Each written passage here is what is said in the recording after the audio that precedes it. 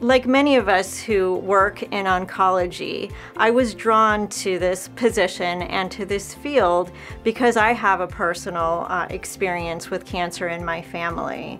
Our department provides all of the support services that any cancer patient and their family members might need from the time of diagnosis as they go through treatment and into survivorship. We have the right people in place to support the whole patient as he or she is experiencing treatment we're so grateful for the relationships that we have with our patients. We're so lucky that they in include us in one of the most vulnerable times and one of the most scariest times in their lives.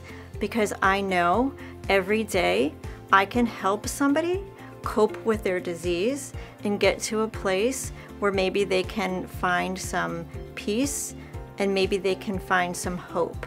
And that is what I hope to continue to do at the Dewberry Cancer Resource Center at VHC Health.